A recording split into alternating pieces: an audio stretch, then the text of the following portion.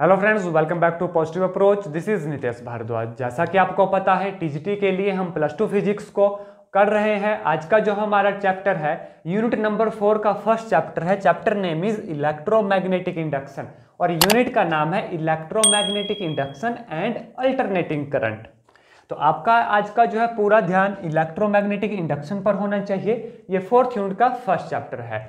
तो वीडियो को शुरू करने से पहले एक इंपॉर्टेंट जानकारी मैं आपको दे देता हूँ।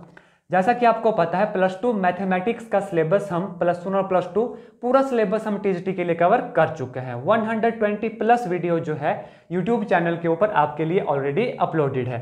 अब जो है हमने मैथमेटिक्स के लिए टीजीटी मैथमेटिक्स की प्रिपरेशन के लिए एक कोर्स स्टार्ट किया है और ये कोर्स जो है पेड कोर्स है, जो एक अप्रैल से शुरू होने जा रहा है। अगर अभी तक आपको इसके बारे में पता नहीं है तो हमारे व्हाट्सएप आईडी पे मैसेज कर दीजिएगा फुल डिटेल आपको उसकी मिल जाएगी। तो जो हमारा चैप्टर है इलेक्ट्रोमैग्नेटिक इंडक्शन इस चैप्टर के सबसे पहले आपको इंपॉर्टेंट की पॉइंट्स बताऊँगा। इस चैप्टर में ज़्यादा की पॉइंट्स नहीं बनते, लेकिन हाँ इसमें जो है न्यूमेरिकल काफ़ी ज़्यादा बनते हैं। तो ध्यान से जो है चैप्टर पढ़ना है, जो भी फॉर्मूले लिखवाऊँगा, जो भी इंपॉर्टेंट की पॉइंट लिखाऊँगा सारे के सारे आपको नोट डाउन करने हैं। तो देखिए, सबसे पहले हम पढ़ेंगे इसमें मैग्नेटिक फ्लक्स के बारे में। प्रीवियस चैप्टर में भी पढ़ा है what is magnetic flux magnetic flux होता है कि total number of magnetic field lines passing through a surface और उस ऑब्जेक्ट को रखा गया है किसी मैग्नेटिक फ़ील्ड में। क्या हुआ magnetic flux total number of magnetic field line passing through a surface placed in magnetic field denote किया जाता है फाइव से। किसको? मैग्नेटिक फ्लक्स को। किससे डिनोट किया जाता है? फाइव से। मैग्नेटिक फ्लक्स किसके बराबर होता है? Dot product of B A जहाँ पर बी क्या है? मैग्नेटिक फ़ील्ड ए क्या है? एरिया। तो कितना हुआ ये डॉट प्रोडक्ट? आपको पता है क्या होता है? बी ए कॉस थीटा ये हुआ हमारे पास मैग्नेटिक फ्लक्स। ठीक है, अब देखिए। जब ये जो थीटा है हमारे पास ज़ीरो डिग्री होगा तो फाइव कितना आएगा हमारे पास? बी डॉट ए ठीक है? डॉट प्रोडक्ट हटा दिया कॉस ज़ीरो वन होता है तो बी ए कितनी वैल्यू आई? मैक्सिमम वैल्यू आई। जहाँ से बी हमारे पास निकला फाइव डिवाइड बाय ए और ये रिलेशन क्या कहलाता है? Magnetic flux density previous chapter में भी ऑलरेडी पढ़ा है।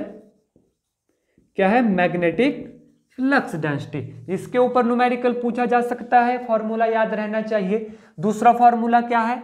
मैग्नेटिक फ्लक्स का। क्या आया? B dot A that is B A cos theta इसके बाद देखिए, जो तीसरा इंपॉर्टेंट की पॉइंट बनता है कि जो क्वाइल है हमारे पास, ठीक है? If N number of coil है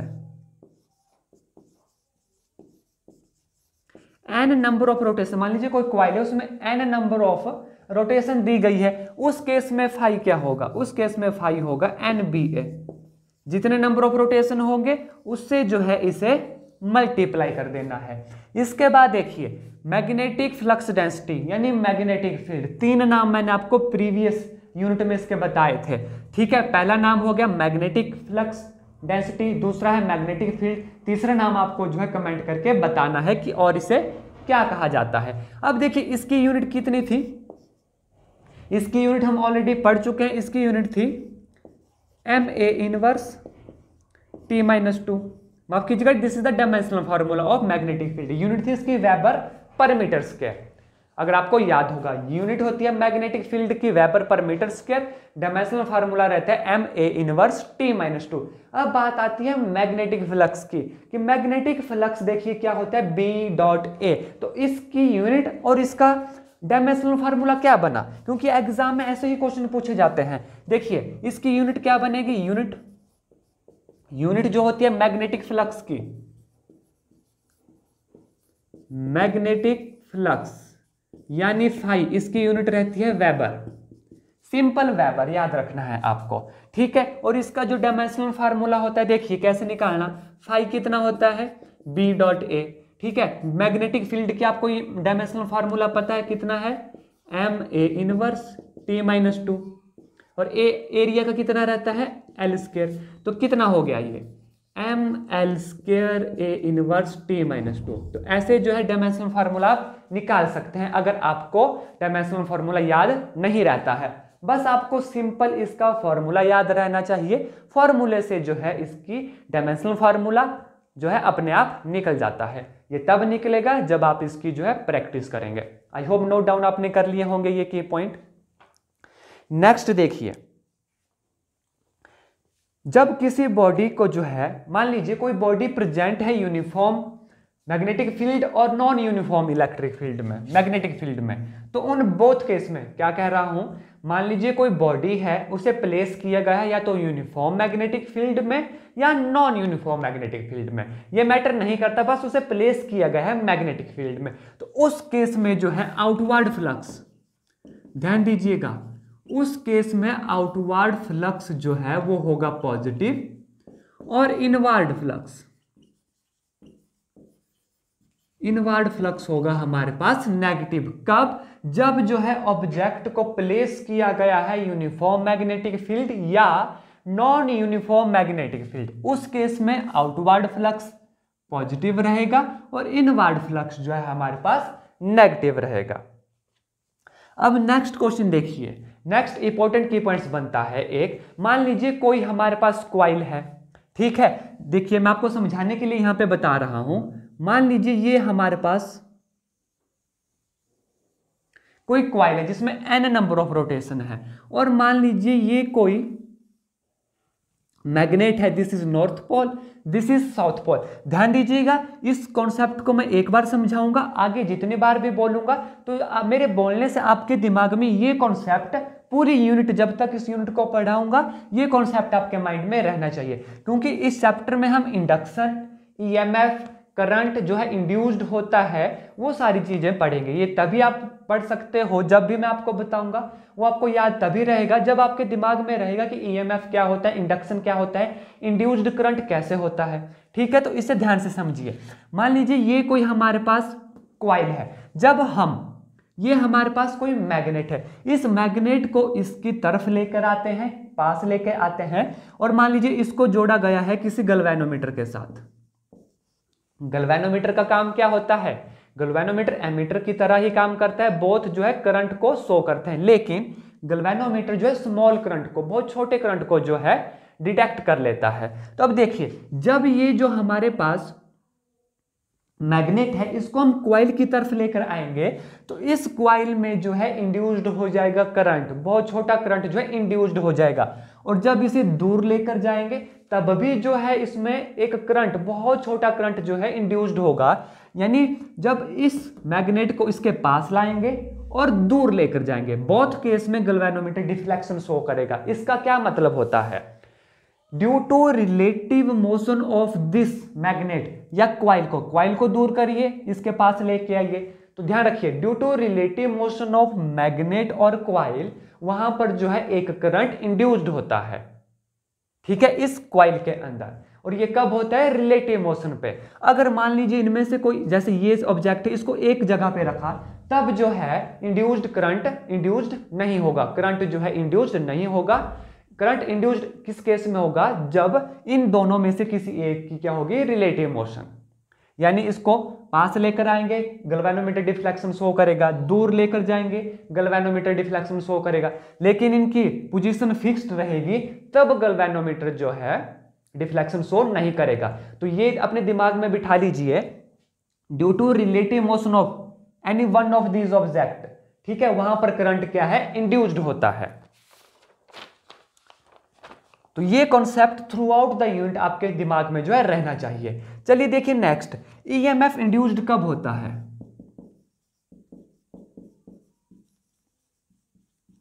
ध्यान दीजिए ईएमएफ इंड्यूस्ड होता है जब मैग्नेटिक फ्लक्स जो मैग्नेटिक फ्लक्स है लिंक रहता है क्वाइल के साथ, वो चेंज होता रहता है विद रिस्पेक्ट टू टाइम क्या देखिए ईएमएफ इंड्यूस्ड होगा? ईएमएफ मतलब इलेक्ट्रोमोटिव फोर्स ठीक है? ये इंड्यूस्ड कब होगा?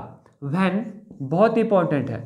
वैन मैग्नेटिक फ्लक्स देखिए वैन मैग्नेटिक फ्लक्स जो लिंक्ड है लिंक्ड विद क्वाइल देखिए क्या कह रहा हूँ? When magnetic flux linked with coil changes with time जी हाँ चेंजेस विद टाइम क्या कह रहा है? ईएमएफ इंड्यूस कब होता है? ईएमएफ इंड्यूस्ड होता है व्हेन जब हमारा जो अभी हमने मैग्नेटिक फ्लक्स पढ़ा, ये चेंज होता रहता है with respect to time constant नहीं होना चाहिए।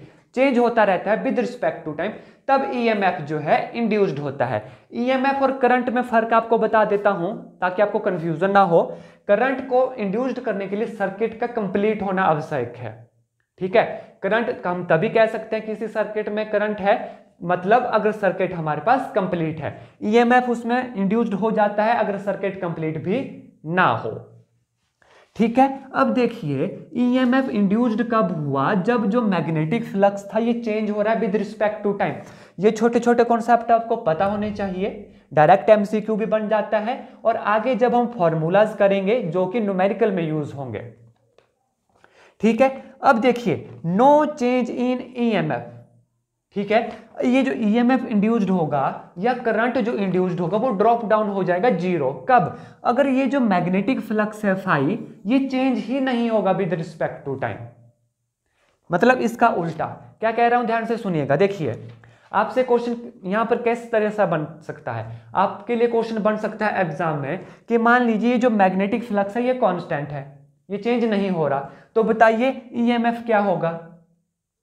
तो आपको पता होना चाहिए, जब ये मैग्नेटिक फ्लक्स चेंज नहीं होगा तो इसका करंट और इसका ईएमएफ e जो इंड्यूस्ड हुआ होगा, वो ड्रॉप डाउन हो जाएगा ज़ीरो की तरफ़। कब? जब मैग्नेटिक फ्लक्स जो है कांस्टेंट रहेगा, यानी चेंज नहीं करेगा विद रिस्पेक्ट टू टाइम तो इस पॉइंट को भी कॉपी में अपनी नोट डाउन कर लीजिएगा।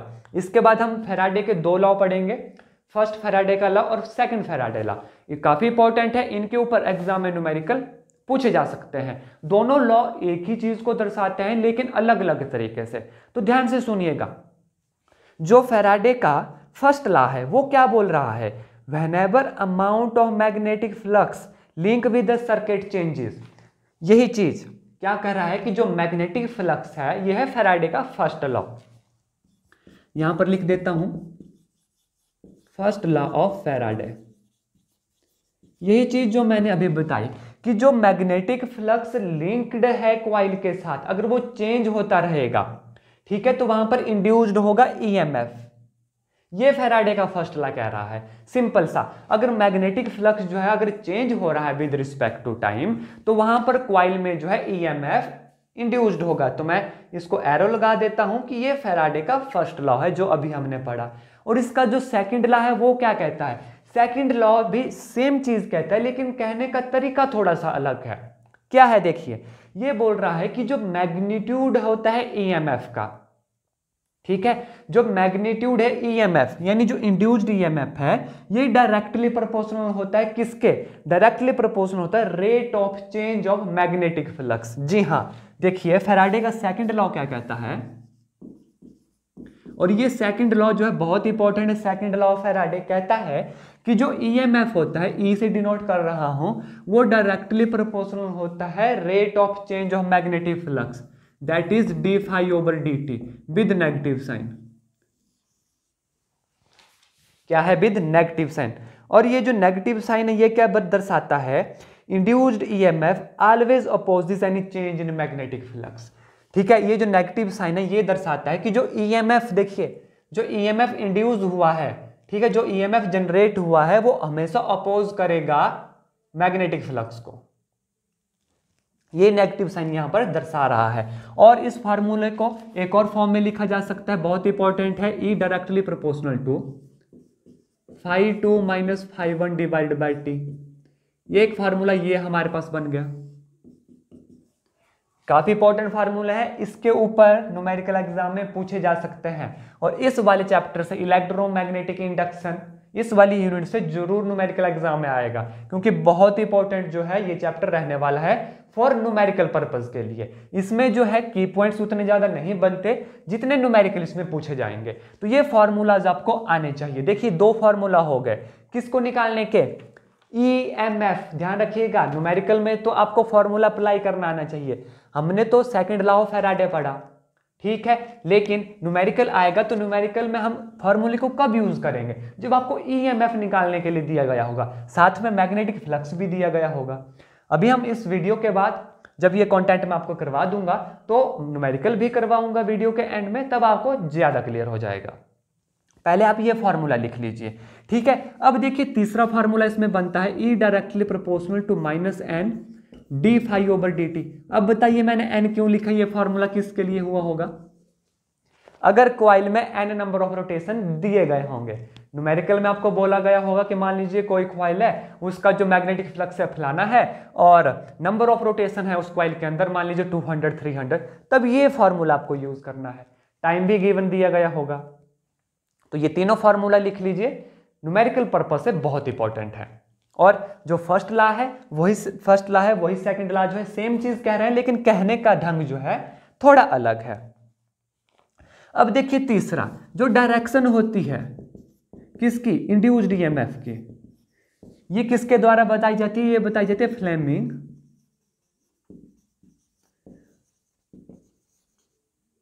राइट हैंड रूल के द्वारा।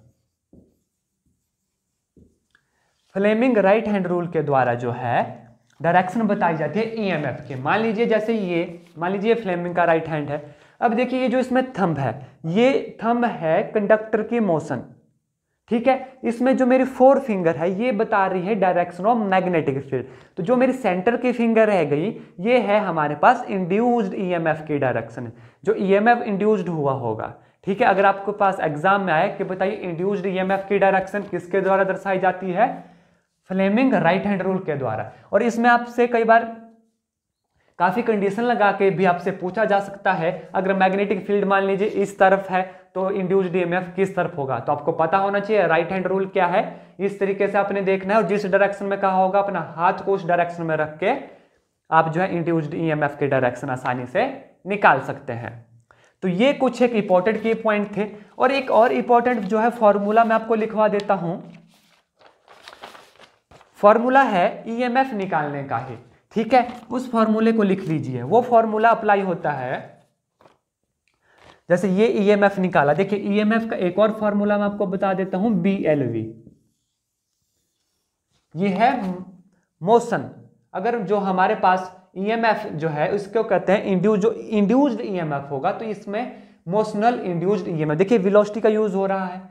लेंथ ऑफ़ कंडक्टर दी गई होगी, बी मैग्नेटिक फ़ील्ड दी गई होगी। उस केस में अगर इंड्यूस डीएमएफ निकालने को बोला जाएगा तो ये फॉर्मूला जो है आपने अप्लाई करना है। तो ये आज के इंपॉर्टेंट की पॉइंट्स और फॉर्मूला थे। आई होप नोट डाउन कर लिए होंगे। अब मैं आपको इसके ऊपर आधारित जो है न्यूमेरिकल करवाऊँगा। ताकि कोई भी कंफ्यूजन कोई भी डाउट आपको ना रहे, क्योंकि ये चैप्टर जो है न्यूमेरिकल पर्पज से ज़्यादा इंपॉर्टेंट है। अगर आप चैनल पे नए हैं तो चैनल को ज़रूर सब्सक्राइब करिए। और हाँ जिस जिस स्टूडेंट को जो एस्पेरेंट टीजीटी की तैयारी कर रहा है, जिसको इस चैनल की आवश्यकता है तो ये ड्यूटी आपकी बनती है दोस्तों कि उस तक जो है इस चैनल को पहुँचाया जाए।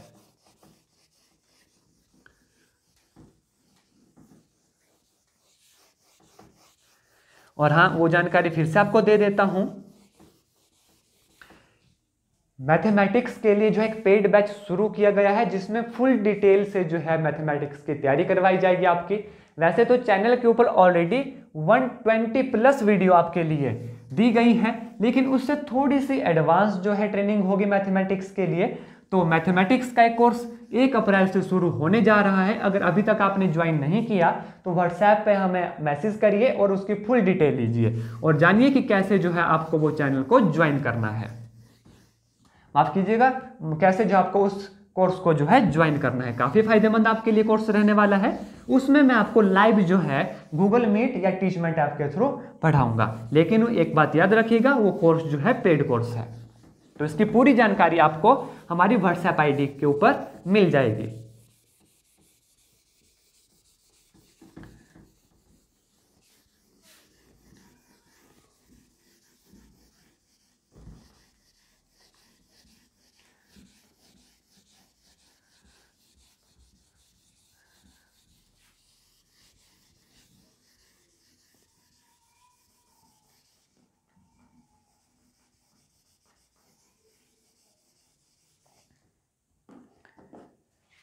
पढ़िए, पहला न्यूमेरिकल पढ़िए और अपना सारा ध्यान मैग्नेटिक फ्लक्स इलेक्ट्रोमैग्नेटिक इंडक्शन के ऊपर ही कंसंट्रेट करके रखिएगा।